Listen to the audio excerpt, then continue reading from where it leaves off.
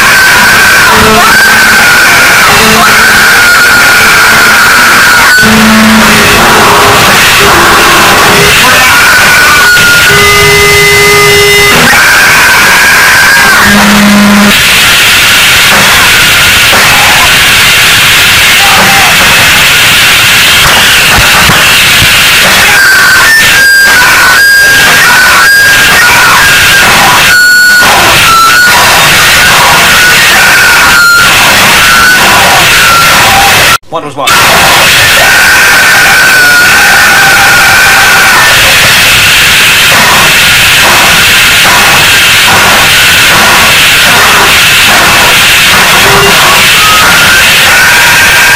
What was that?